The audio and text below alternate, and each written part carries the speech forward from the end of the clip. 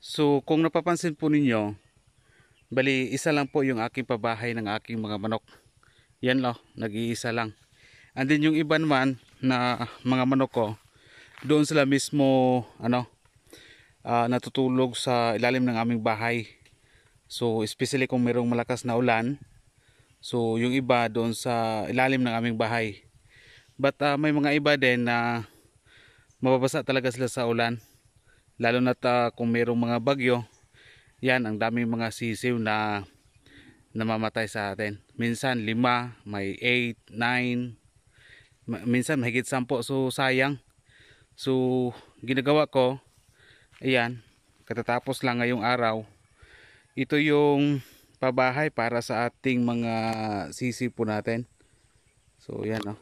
bali tatlong kwarto ito itong ah, pabahay sa ating mga sisiw. So, titingnan natin ha.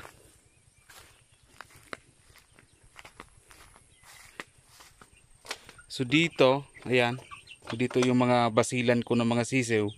Bali hindi na lang natin bubuksan para hindi sila makalabas. But ah, ang ano dito, problema ngayon sa basilan ko, medyo nagkasakit yung iba. Kasi matagal tayong hindi nakauwi dito sa probinsya. So kapag hindi tayo nag-alaga sa ating mga manok mismo, yun ang mahirap.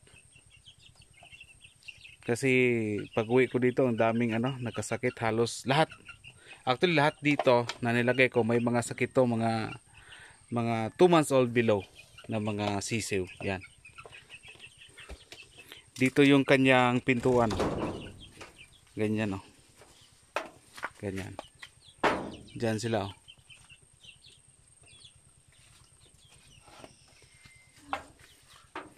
Oh, ganyan lang. Hmm. Tapos dito banda, dito yung pangalawa. Dito mga native to na mga manok. Mga upgraded, mga may sakit din to. Kadalasan na may mga sakit dito. Falfax at saka yung sipon. So yan oh, buksan natin ah. Pangalawang kwarto. So wala na tayong mga sisiw sa labas, bali lahat sila nandito na. Dito ko na nilalagay. So kita nyo sa mukha nila oh, may mga falfax lalo na isa dyan oh. falfax tapos mga sipon. So dyan oh. so bago ko lang sila nito nilagay dito sa kanilang mga kulungan. So at least kung merong ano na malakas na mga bagyo or ulan or yung sobrang init hindi din maganda sa manok So at least hindi na tayo mag ano, wala nang problema dahil meron na tayong pabahay. Din dito din iba oh, pangatlo, pang last na kwarto sa mga sisi oh. Yan din iba. Dito rin ang pintuan oh. Ay, baka nabubuksan, baka makalabas sila. So yan oh. So yan oh, grabe yung sipon. So, ang daming nagkasakit na mga manok natin ngayon, balik kaunti na lang sila. Yung iba talaga na medyo pwede pa nating ibinta, yan, nabinta ko na ng uh, nakarang araw. Kaso nga lang yung mga may sakit talaga. So, kaysa hintayin pa nating mamatay to, hindi lalong malulugi na.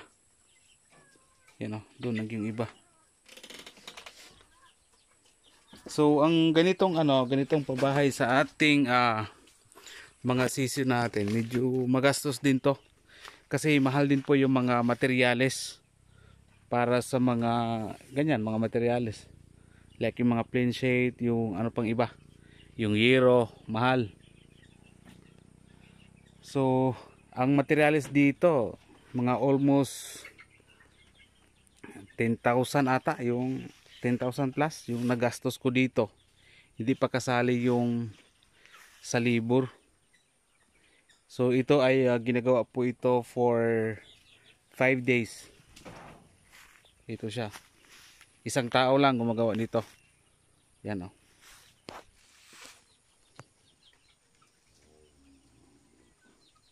bali simpleng ano lang to. Simpleng pabahay para sa ating mga sisew but at least uh, safety yung ating mga sisi para sa ulan at uh, malakas na init.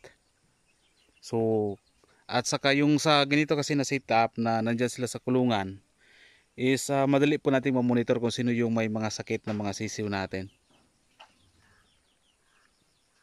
At uh, masisiguro din natin once uh, magbigay po tayo ng mga vitamins, antibacterial, masiguro natin na lahat sila is uh, makakainom. Kung ano man yung mga vitamins at saka antibiotic yung uh, ano uh, pinainom natin sa ating mga sisiw. So although diyan malaki sana yung espasyo na pwede sila makagalagala yung ating mga manok. Kaso nga lang mahirap.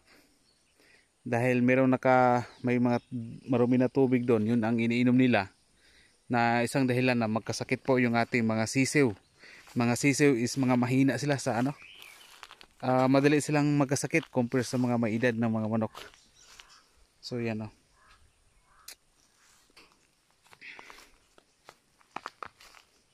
Tapos yung net ko doon, uh, chicken net ko doon is uh, ililipat ko sa dito.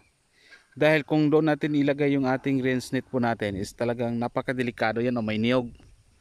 So dyan din tayo nagpakain sa ating mga manok. So napakadelikado. Baka mahulugan po tayo ng bunga ng niyog. Baka matamaan tayo sa ulo eh. Baka madisgrasya pa.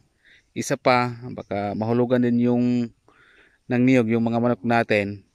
Isa din yun sa dahilan pero yung ganyan is uh, hindi kasi safety para sa atin kung magpakain tayo dyan kasi may mga bunga ng niyog napakadelikado kaya itatransfer ko lang dito yung aking mga rinse nito para hindi masayang so yan no pabahay ko yan no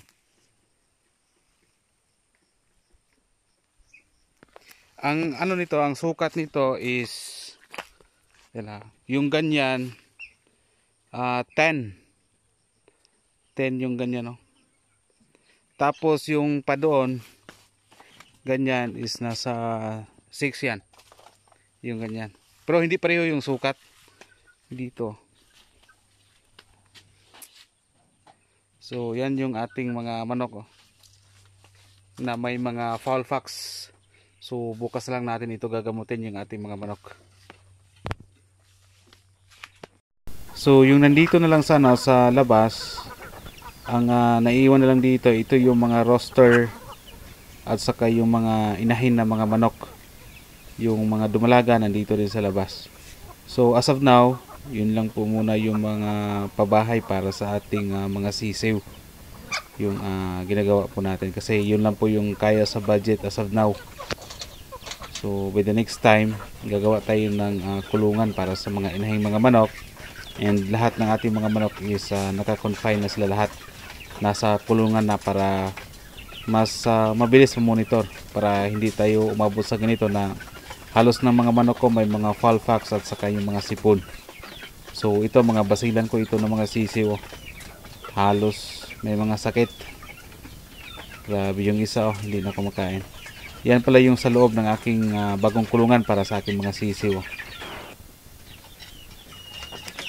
So ito yung mga native natin ng mga manok. Yan. So ang feeds na pinapakain ko diyan, yan po yung uh, Nutri-Grow pellets yung uh, pinapakain ko para sa sa mga sisiw. Tapos sa mga 1 month below, yun yung mga ano, mga Integra 2000. So yan, mga ano siguro yan, mga nasa 17 ata. Yung mga sisiw na yan na mga below 2 months old. So ano pansin natin kung magkasakit yung mga manok, medyo matagal silang lumaki. At saka yung nakaraang araw, marami din po yung uh, namamatay ko dito ng mga ano, mga sisiw yan. Oh. So lahat ng mga sisiw ko na yan, hindi sila healthy yung nandyan sa loob. Yan.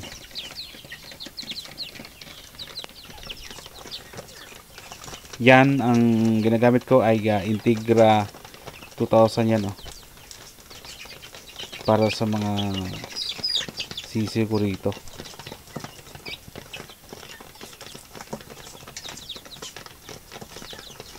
siguro ang ano dito ang dahilan kasi nito sa Falfax ng ating bakit nagkaroon sila ng Falfax i dahil yan sa ano sa lamok. Yung iba nagsasabong yung iba. So yung sugat yan may nagsabi din sa akin na sili lang daw yung ah, ilalagay dyan sa parang mga sugat nila o yung sa Falfax mawala daw yan. Tapos bukas ah, meron akong piniprepare na thymol para sa mga manok na nagkaroon po ng Falfax